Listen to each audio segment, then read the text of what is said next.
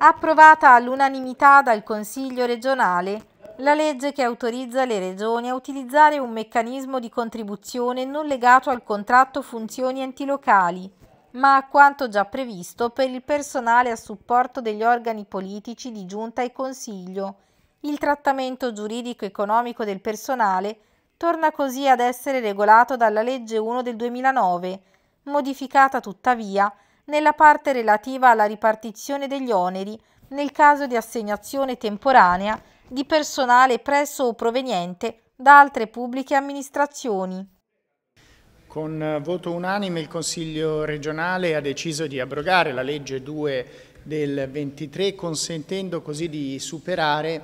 una questione che aveva animato non poco il dibattito politico e soprattutto una questione che coinvolgeva il personale della Regione Toscana.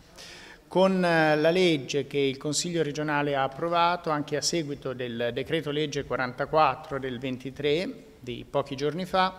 si è arrivati quindi a stabilire che il trattamento economico accessorio del personale, degli staff, degli organi politici del Consiglio regionale e della Giunta possa gravare direttamente sul bilancio regionale e non più sul fondo del salario accessorio del personale della Regione Toscana.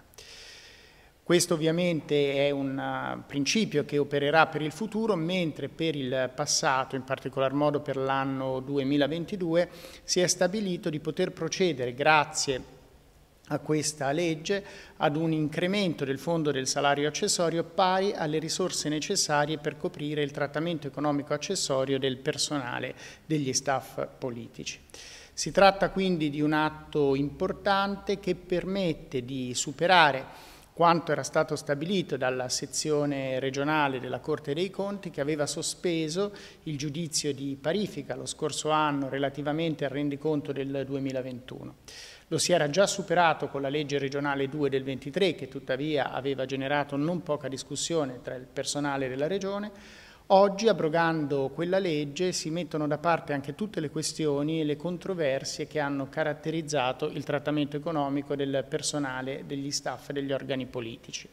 Un passo in avanti importante che permette però alla Regione Toscana di allinearsi anche alle richieste che sono state avanzate dalla Corte dei Conti. Sì, sicuramente l'approvazione di questa, di questa legge che di fatto va a sanare una situazione che era derivata da delle censure puntuali che aveva diciamo, rilevato nei confronti di Regione, eh, di Regione, Toscana la Corte dei Conti. Va a sanare che cosa? Eh, quella che era di fatto una disparità di trattamento che vedeva contrapposte da un lato il personale di Regione Toscana, dall'altro lo staff dei gruppi politici. Eh, una questione che eh, ha naturalmente una caratterizzazione decennale eh, e che è stata risolta eh, solamente diciamo, qualche settimana fa da parte del governo. Tutto questo aveva generato un contenzioso, un contenzioso che naturalmente aveva coinvolto Regione Toscana che nelle more di, di, diciamo, di questa sanatoria perché se così diciamo, vogliamo definirla, ehm, aveva appunto determinato una forte contrapposizione naturalmente anche con eh, una forte diciamo, contestazione da parte del mondo sindacale. C'è da dire una cosa, eh, questa diciamo, legge nasce sostanzialmente con, come una marcia indietro che si fa tenuto conto della normativa sopravvenuta a livello nazionale. Ciò non toglie che il metodo con il quale siamo arrivati diciamo, a fare il precedente testo di legge, a licenziare il precedente testo di legge a gennaio, è stato un metodo che ha visto poca concertazione, soprattutto nel confronto con il personale, sia delle strutture sia dei gruppi politici. Ecco, io credo che eh, per non dare l'idea che come dire, si arrivi a fare delle norme che poi un certo, in un certo senso mettono delle toppe rispetto a situazioni che andavano forse gestite con una maggiore cautela, ecco, io credo che questo deve, deve insegnare soprattutto a chi eh, ha responsabilità di governo che talvolta il metodo può naturalmente diciamo, fare la differenza. Ecco, questo io credo che sia eh, una, eh, una censura che mi sento di fare, la situazione l'abbiamo risolta ma non cambia il modo in cui è stata gestita. Ma una decisione unanime che tiene fede a un impegno, quello di tutto il Consiglio regionale della Toscana, di risolvere una questione relativa al personale, non soltanto quello a tempo determinato delle strutture politiche, ma dà una risposta nel contempo a tutto il personale della Regione Toscana che costantemente e quotidianamente lavora in tutte le strutture della Regione, mettendo in sicurezza delle risorse per i fondi accessori, delle stanze portate avanti dalle organizzazioni sindacali, le quali noi abbiamo speso fin dall'inizio il nostro impegno politico come Italia Viva e come gruppo di maggioranza per fare in modo che tutto il personale della Regione Toscana abbia il livello di retribuzione che le compete rispetto alle aspettative che giustamente un dipendente aveva acquisito nel corso del tempo e nel contempo abbiamo dotato le strutture della politica di una dotazione così come è prevista da una legge nazionale in linea perfetta, in condivisione fra tutte le forze politiche come quello che è corretto che sia.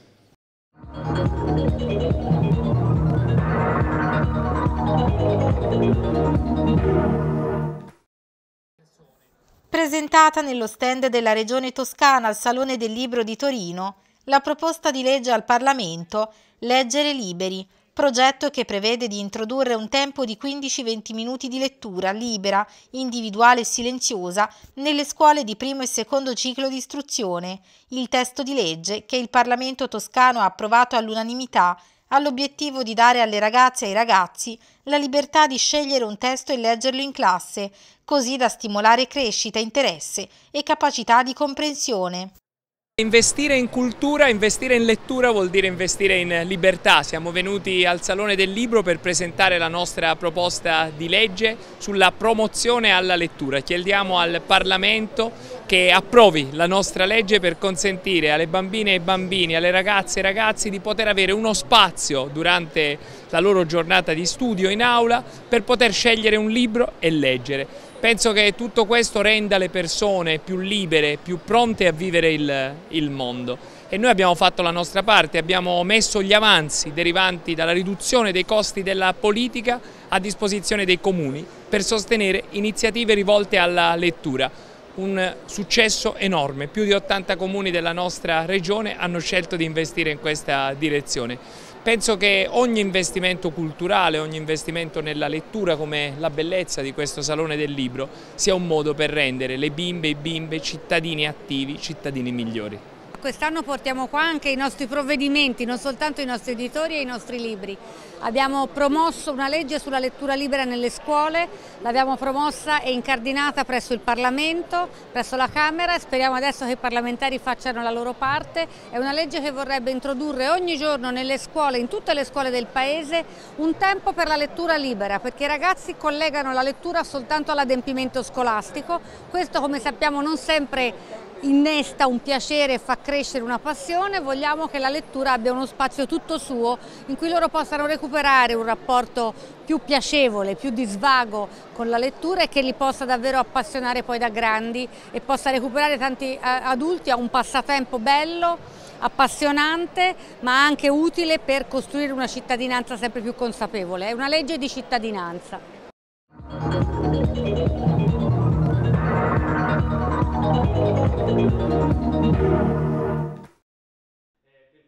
Presentato nella Sala Fanfani di Palazzo del Pegaso il libro intitolato Avrei voluto urlare, scritto da Pietrina Oggianu e pubblicato dalle edizioni del Faro. Il romanzo è una testimonianza sincera e coraggiosa che dà voce ai pazienti affetti da sindrome da dolore cronico diffuso attraverso la protagonista Pitti. L'autrice con esperienza personale sulla propria pelle, si impegna a sensibilizzare sul significato di vivere con questa malattia invisibile che colpisce più di due milioni di persone, soprattutto donne, e ha un profondo impatto sulla vita quotidiana. Nell'occasione, il presidente della Commissione Sanità Enrico Sostegni ha sottolineato l'impegno della Regione nel riconoscere un percorso diagnostico e terapeutico per questa malattia.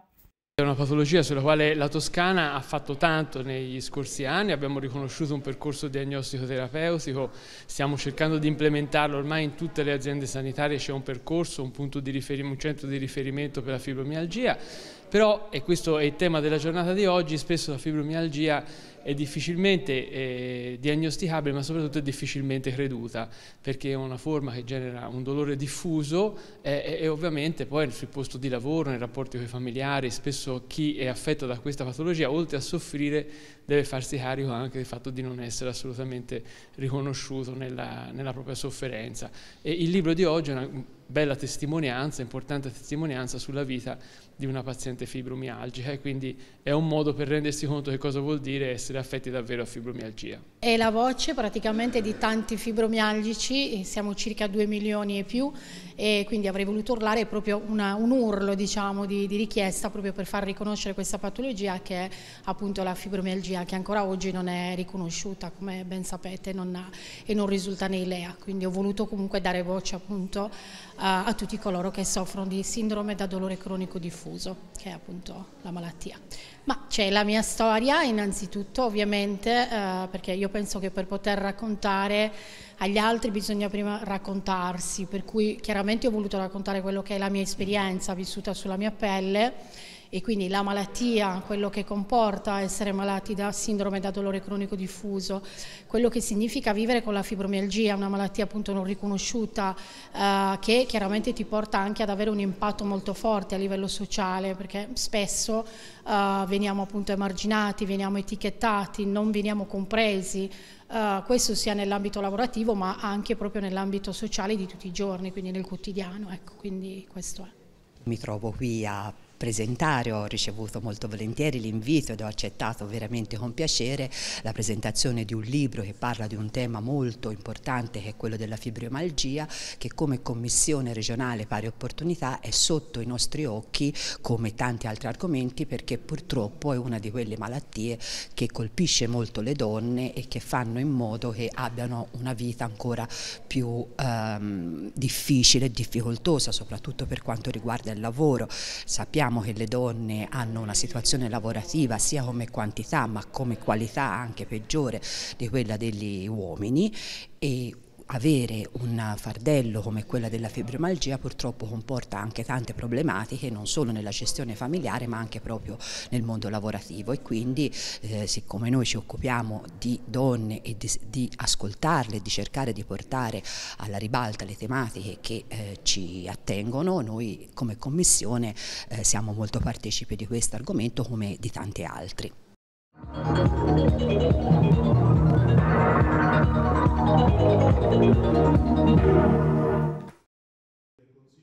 La Commissione Europa del Consiglio regionale ha incontrato le classi terze dell'Istituto Superiore Benedetto Varchi di Montevarchi che si sono aggiudicate il finanziamento da 30.000 euro offerto dalle azioni Jean Monnet per stimolare l'insegnamento e la ricerca sull'Unione Europea. Il progetto, a cui gli studenti hanno dato il nome di Miendeu, viene proposto nell'ultimo triennio della scuola. In questa prima fase del progetto gli studenti si sono focalizzati su quello che l'Europa può offrire ai giovani in tema di studio e lavoro, producendo video e presentazioni inerenti quattro ambiti Interrail, Erasmus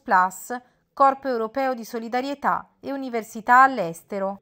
È con grande soddisfazione che abbiamo aperto anche questa nuova fase di lavoro della Commissione Europa, anche qui con un lavoro condiviso, un lavoro che tiene di conto anche delle energie e soprattutto delle idee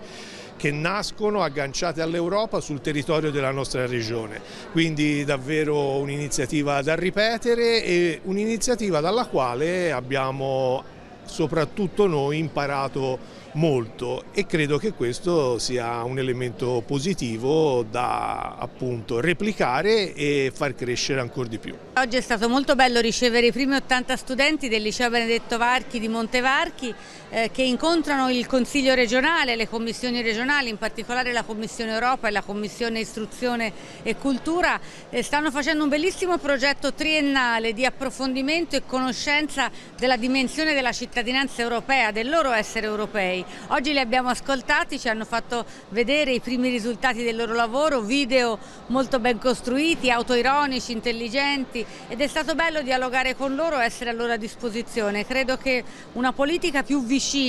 alle esigenze dei cittadini, più consapevole di che cosa vuol dire abitare le istituzioni scolastiche anche da studenti oggi possa essere più utile anche alle decisioni pubbliche e agli indirizzi politici che noi dobbiamo determinare ogni giorno. Ed è stato molto bello raccogliere anche le loro suggestioni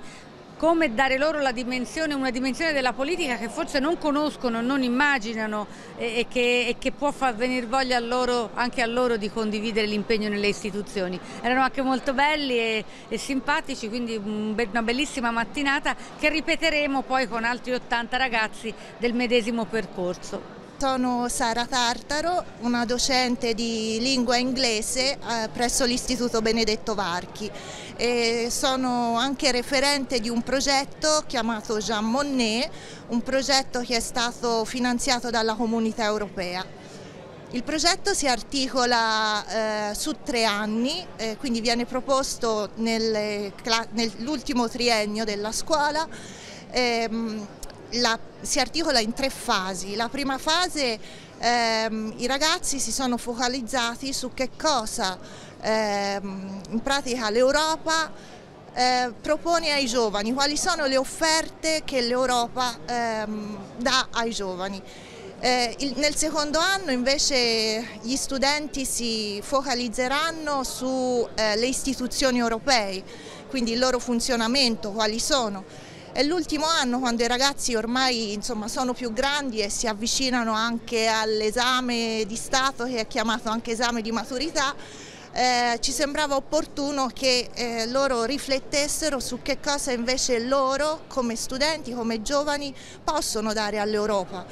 consapevoli del fatto che non, solo, non, non ci sono solo diritti ma ci sono anche doveri. Sì, è importante questa mattina, ma soprattutto è importante il lavoro che stanno svolgendo i nostri giovani all'interno del percorso di studi che si compie appunto nell'Istituto di Montevarchi. È importante che i ragazzi si avvicinino alle istituzioni, in questo caso c'è una bella unione perché c'è un'unione fra l'istituzione della Regione Toscana e l'istituzione europea. Io invito a approfondire questo argomento perché l'Europa forse noi non la conosciamo così bene, in questo momento i giovani stanno studiando proprio per avvicinarsi alla comunità europea e capire quello che succede, quelli che sono i meccanismi. Noi come Commissione siamo andati a Bruxelles, abbiamo capito tanto di più e, e diamo sicuramente un senso maggiore al ruolo che svolgiamo all'interno della Commissione, quindi il lavoro che stanno facendo i nostri giovani il supporto che forse potranno anche darci con, con, questo percorso di studi sarà per noi fondamentale, ecco perché oggi siamo ad ascoltare il lavoro che stanno svolgendo. Molto importante questo incontro tra i giovani della scuola di Montevarchi e la Commissione Europa. Eh, questa è la generazione dell'Erasmus, la generazione di ragazzi che hanno bisogno di dimensioni ampie, quindi eh, sentirsi europei, ricercare un rapporto per capire quali sono le opportunità che l'Europa offre, ma anche come si può essere dei giovani cittadini europei del futuro, credo che sia molto importante, sia molto in linea con il lavoro che sta facendo la Commissione Europa che abbiamo fortemente voluto nell'ambito di questa legislatura. In bocca al lupo a questi giovani europei europei, l'Europa è sicuramente un'opportunità, è la nostra dimensione alla quale dobbiamo guardare con speranza e con fiducia, ovviamente eh, rafforzando e coltivando quello che è uno spirito certo di italiani ma nell'ambito dell'Europa.